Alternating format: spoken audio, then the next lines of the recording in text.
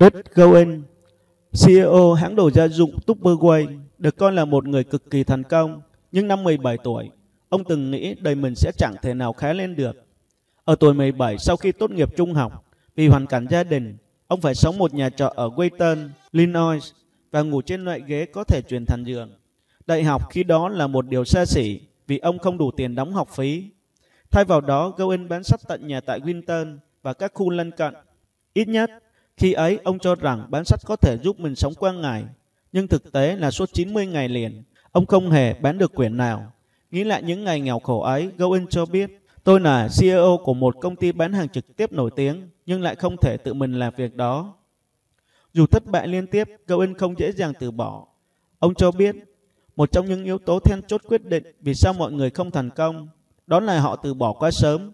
Ông đã chứng kiến nhiều người trẻ lao vào nghề bán hàng, một số người thành công, một số khác bỏ việc sau vài ngày không có kết quả. Còn ông, trong suốt thời gian đó, ông vẫn tiếp tục gõ cửa từng nhà. Nhưng vào cuối mùa hè năm ấy, khi túi tiền chỉ còn vài đồng đô la ít ỏi, Gowen biết ông cần phải có một kế hoạch mới.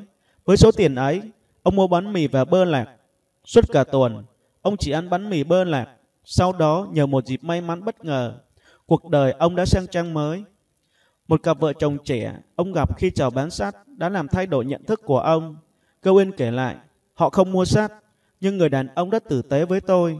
Anh ta nói đã gia nhập hải quân để tìm ra mình là ai. Sau đó mới học đại học. Thời điểm tôi gặp hai vợ chồng, anh ta đang ở tầm tuổi 3233 và đã có một ngôi nhà khang trang.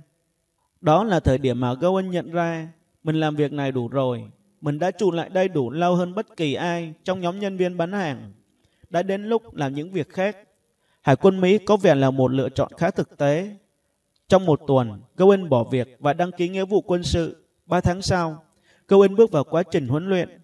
Giai đoạn đó được coi là cột mốc thay đổi cuộc đời ông. Thời gian ở Hải quân Mỹ, ông học những bài học đầu tiên về lãnh đạo.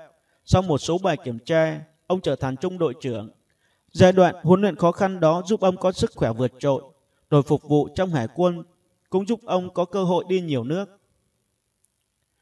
Sau thời gian trong quân đội, Cohen thấy hứng thú với việc kinh doanh. Ông đăng ký học đại học, nhưng bỏ học trước khi tốt nghiệp để gây dựng công ty của riêng mình, Dynamics.